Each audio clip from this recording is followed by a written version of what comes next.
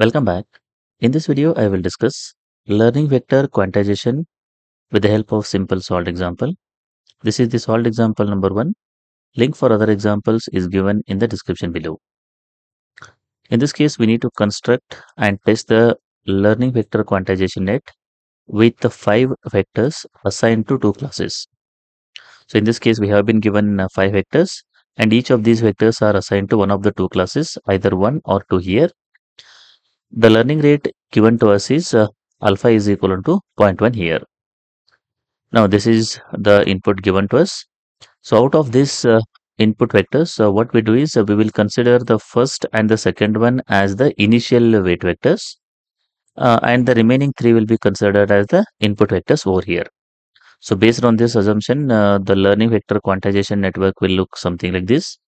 Each of these vectors contains uh, four components. So that's the reason we have x1, x2, x3 and x4 as the input nodes. There are two classes are there. That's the reason we have y1 and y2. y1 is with respect to first uh, uh, vector and y2 is with respect to second vector here. So first and second were considered as the initial weight vectors in this case. So this is for class 1 and this is for class 2 here. Now the initial uh, uh, weights looks something like this. W1 is equal to 0, 0, 1, 1 that is uh, this one. W2 is equal to 1, 0, 0, 0 here that is this one. So the same thing I have represented in the network also. Now uh, what we need to do is uh, we need to start with uh, the remaining three input vectors and then we need to map these three to one of those uh, uh clusters here. So I will start with uh, this uh, vector that is 0001 here. So that is the first vector and the target in this case is equal to 2 here. So now what we need to do is we need to calculate the Euclidean distance of this input vector to the two you can say that the classes here. So that can be done with the help of uh, this equation. dj is equal to summation of i is equal to 1 to 4 wij minus xi bracket square. So why 4 I have taken here is uh, the number of uh, components in each input vector is equal to 4. So that's the reason I have taken 4 here. Now we will replace the value of i uh, from 1 to 4. The equation will look uh, something like this. Next, uh, we will take the value of j is equal to 1 in this case. So d of 1 that is the Euclidean distance from this input vector to the first cluster is equal to we need to replace the j from uh, uh, to 1 here. So the equation will look something like this. In this equation w11 w11 is nothing but what? 0 here. And x1 x1 is nothing but what? 0 here. So that is what I have written here. w21 which is equal to what?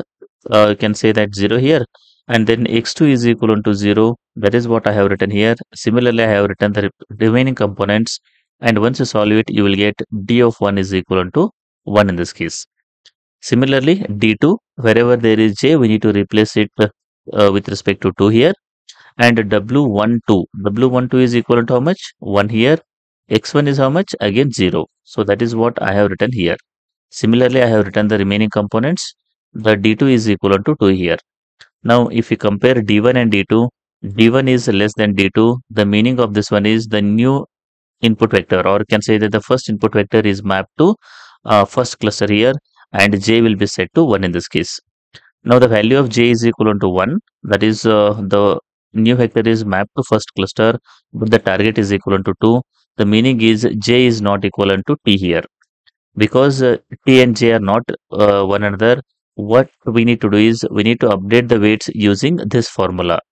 Wij new is equal to wij old minus alpha xi minus wij old here so in this case you can notice i am using minus in this case if they are same i will use plus in this case so that is the difference in learning vector quantization with respect to, Kohonen uh, uh, self-organizing maps in this case now uh, I will replace j is equal to 1 here uh, because we have mapped the input vector to 1.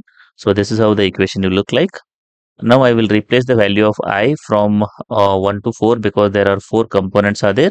So W11 new is equal to W11 old minus alpha x1 minus W11 old. We know all these values. We will put it here. We will get the W11 new is equal to 0 here. Similarly, W21 new is equal to 0 W31 new is equal to 1.1, W41 new is equal to 1 here. Now we need to replace uh, the old weights with respect to new weights. So these weights will be replaced with this. They will look something like this. Now we will continue with the next input vector that is this one. Uh, the target for this uh, input vector is 1 here. Again we need to calculate the Euclidean distance using this formula. Here we need to calculate uh, d of 1. d of 1 uh, again we are using the same equation there is no change uh, with respect to the previous uh, input vector whatever we have used the same equation I'm using here also. Only thing is we need to put the values from this weight vector and the input vector now we will be getting uh, d1 is equal to 4.21 here and uh, d2 is equal to uh, 1 we are getting. Now once you compare d1 and d2, d2 is less than d1. The meaning is that this input vector is mapped to second cluster. Because of that j is equal to 2 here. But what is the actual target? Target is equal to 1 and uh, in this case again j is not equal to uh, t here. Because uh, j and t are not equal to one another Again, we will update the weights uh, using uh, this equation where we are using uh, minus in this case. Uh, the value of j is equal to 2. So, j will be replaced with the 2 here. This is how the equation will look like. i will be replaced from 1 to 4. w1 2 new is equal to again uh, we will put the value of i is equal to 1 in this equation we know all these values we will put it here the answer in this case is equal to 1 here Similarly, W22 new is equal to minus, uh, 0.1 here. W32 new is equal to 0. W42 new is equal to 0 here. So we have updated the W2 in this case. We will replace the old weights with the new weights. They will look something like this.